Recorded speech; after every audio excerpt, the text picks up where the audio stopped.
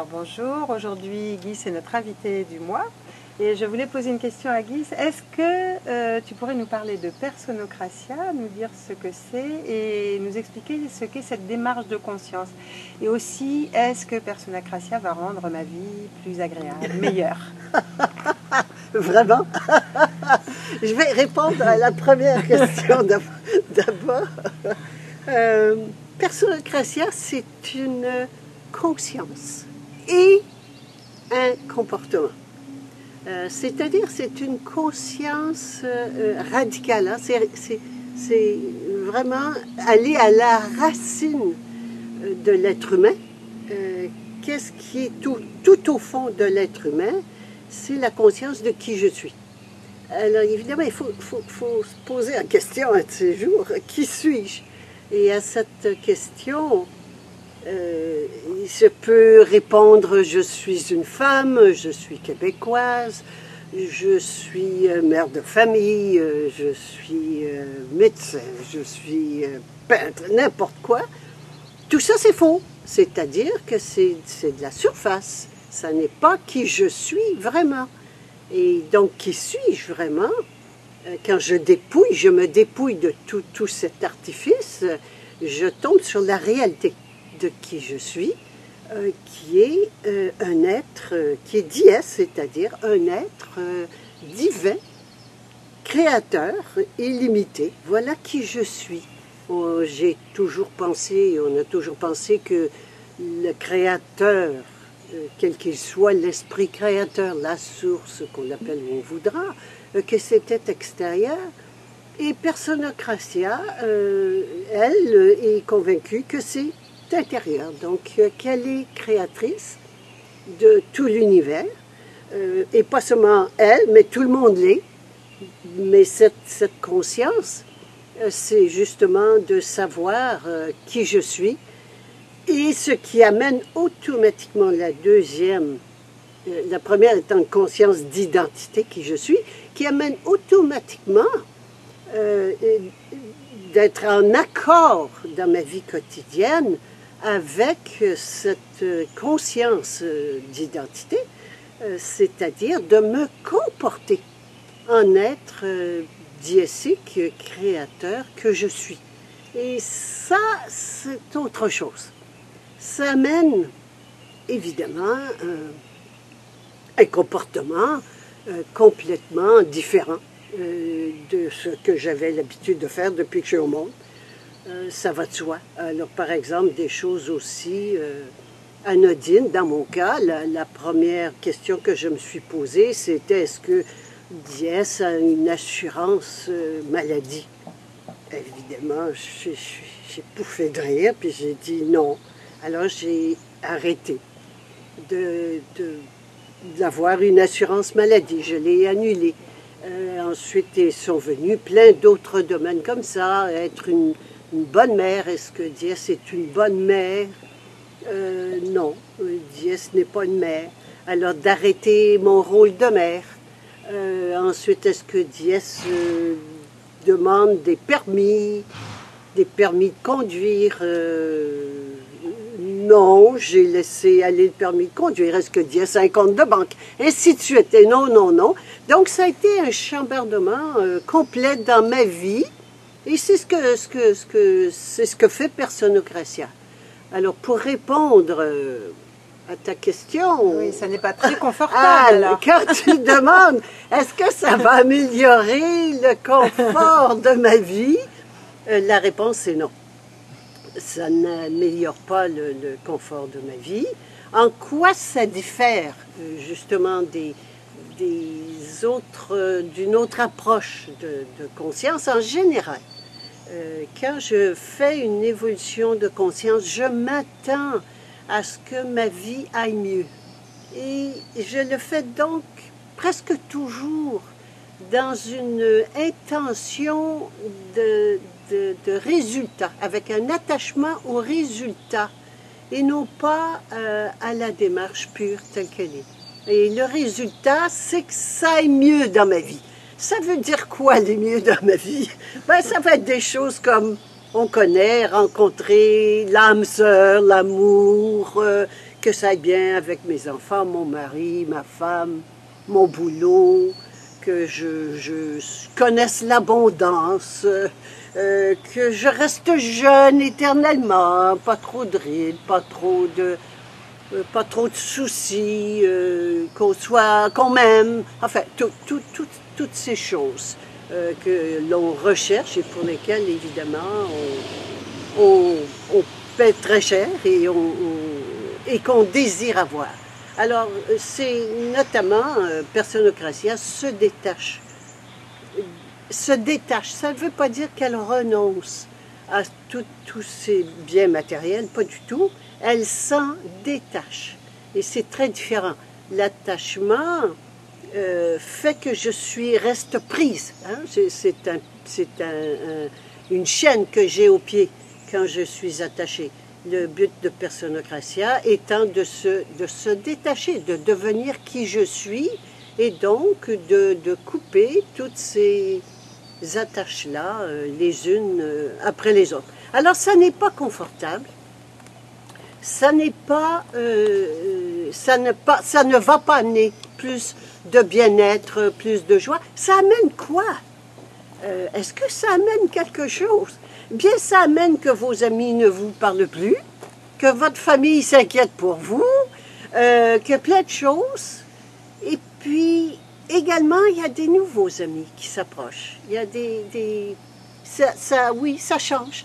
Ça change l'entourage, ça change la façon de voir les choses. Et ça amène quoi? Ben, Ça amène la vraie paix, la paix intérieure. Ça amène la joie, la vraie joie, inconditionnelle, qui ne dépend pas de l'extérieur, qui est là. Alors, la paix, elle est à l'intérieur, la joie, elle est à l'intérieur. Euh, ça amène donc, ça, permet l'accès à ce que nous sommes réellement et éventuellement la puissance, la toute-puissance euh, et, l'abondance. Et évidemment, tout cela vient, euh, sont des attributs diésiques qui viennent au fur et à mesure euh, que l'on monte en conscience. Mais je peux vous dire que le début euh, n'est pas euh, de tout repos. Et si vous voulez que votre, votre vie soit plus confortable, c'est pas le bon moyen. c'est pas, pas forcément le chemin, du moins pas aujourd'hui. Pas tout de suite.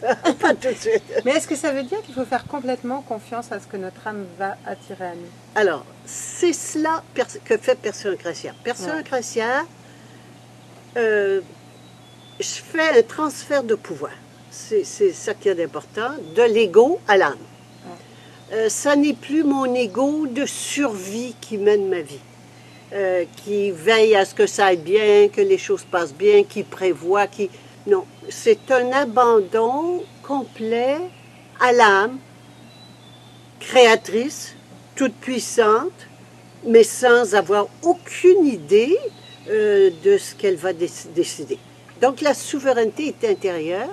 Souveraineté veut dire l'autorité suprême. Elle est intérieure, elle est dans l'âme, qui est l'individualisation la diécité, du divin.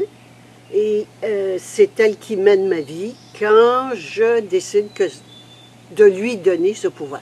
Donc c'est un transfert de pouvoir de l'ego à l'âme sans aucune attente et sans aucune idée de ce qui va se passer. Mais une démarche d'acceptation alors. hein, Acceptation de ce en qu'elle nous amène. conscience d'être créatrice. Voilà. Parce que euh, l'acceptation euh, sans conscience d'être créatrice, c'est de la résignation. Exact. C'est autre chose. Tout à fait. Hein? Tout à fait. Alors justement, là, il y a des livres, euh, tu as écrit beaucoup, donc on connaît tous la mafia médicale. Mais maintenant, il y a une série de livrets, le dernier sur l'éducation. Alors, est-ce que tu peux nous en dire quelques mots? Oui. oui. Euh, L'éducation, euh, c'est tout ce que nous ajoutons à notre euh, atavisme, à notre hérédité, à notre conditionnement avec lequel nous venons au monde déjà, Donc tout ce qui s'ajoute à cela et qui fait des couches supplémentaires de mensonges, de, de, de, mensonges qui sont pas vrais, qui sont pas qui je suis réellement. Alors je, je m'explique. Il n'y a pas que l'éducation, il n'y a pas que l'école, euh, il y a déjà la famille. Quand je viens au monde, avant même de venir, on veut savoir si c'est un garçon ou une fille. Alors déjà, la programmation euh, du sexe est, énorme. Euh, ensuite arrive la, religion, qui est très importante. Ensuite arrive la, culture. La culture qui est extrêmement... Alors qui me moule, à chaque fois qu'il me moule, qui, et qui fait prendre des choses pour la, la vérité, pour la réalité, des choses qui ne sont pas vraies, qui sont euh, des croyances, euh, des, des, façons de faire. Mais il n'y a rien de vrai là-dedans. Et arrive l'école, euh, et là, évidemment, il faut, faut, savoir que toute l'éducation, toute l'éducation est contrôlée par l'UNESCO, qui est le, ministère de, l'ONU, qui voit euh, à l'éducation, qui voit aux arts, qui voit à la science. Et c'est entièrement contrôlé pour faire des crétins des individus. Alors ça, il faut, le savoir, c'est, c'est dur d'en prendre conscience, mais encore euh, vaut mieux tard que jamais. Euh, et vous, on constate, quand même, on constate que les enfants ne savent plus écrire, savent plus compter, savent plus parler. C'est, la culture américaine s'est imposée partout. Toute la musique, par exemple, c'est intéressant euh, de savoir que le la de la musique, c'est, euh, était avant à 432 HZ, c'est des j'en sais rien. Hertz. Hertz, voilà. Euh, mais qui est maintenant, euh, euh, depuis Rockefeller, a fait passer ça à 4,40 et qui amène une dissonance, une discordance et qui, qui, brouille le cerveau. Alors à tous les niveaux, que ce soit la, musique, les arts, le, tout le niveau, tout le divertissement en général, tout cela a été récupéré par l'État. La façon de faire, ça a été l'éducation, évidemment, les écoles et tout, ça a été récupéré par l'État. Et la façon de faire de l'État est toujours la même, et c'est de faire un monopole. Et là, au nom du bien du peuple, et c'était la gratuité scolaire pour tout le monde, hein, c'est tout le monde a droit d'aller à l'école. Et à partir du moment où l'État met la main sur quelque chose, il légifère et il en prend le contrôle absolu qu'il transfère ensuite au monopole privé, c'est-à-dire aux banquiers et aux industriels. Alors, c'est comme cela maintenant que l'argent mène les écoles, toutes les, grandes institutions, les grandes sociétés contrôlent l'éducation entièrement, contrôlent le divertissement, contrôlent euh, la famille, et on a tout fait pour sortir les enfants de la maison, par exemple, en, tant que femme et ancienne féministe, j'ai appris que le féminisme a été mis en place par Rockefeller pour faire sortir les femmes de la maison et en plus ça, avoir un double impôt sur le revenu, pas seulement le mari mais aussi la femme, mais surtout euh, pour avoir les enfants à l'école le plus tôt possible dans les crèches, euh, les garderies, et, leur faire du lavage de cerveau euh, le plus tôt possible. Alors, c'est voulu, c'est organisé de longue date, comme tout le reste, hein? qu'on parle de santé, qu'on parle d'éducation, qu'on parle de banque, qu'on parle d'argent, qu'on parle de, quoi que ce soit qu'on parle, c'est toujours la même chose. On se, on se retrouve à un plan qui, est instauré de, longue date, euh, qui, qui, depuis plusieurs décades, plusieurs décennies, et dont le but est de rendre les gens esclaves pour en faire des bons travailleurs obéissants. Alors merci Guise pour tout ça. En tout cas, on s'est aperçu qu'il y a beaucoup de choses que nous ne connaissons pas et que nous pouvons connaître à travers tous ces livrets comme la religion, la politique, je regarde à l'arrière, effectivement, l'autorité, la santé, l'éducation, la famille. on peut trouver tous ces livrets. Et donc, on va vous mettre euh, sous la vidéo les endroits où vous pourrez trouver tout ça. Merci. Merci, ça toujours.